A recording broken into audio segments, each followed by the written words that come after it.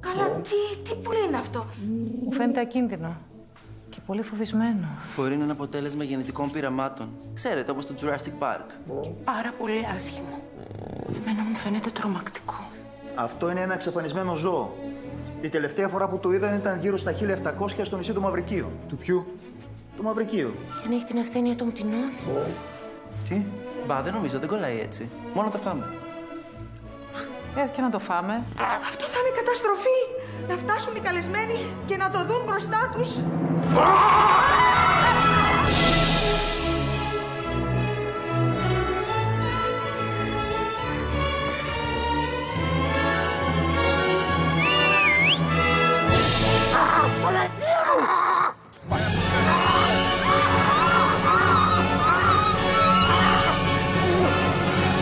Ρε μαλάκα, τι είναι αυτό, πελεκάνος;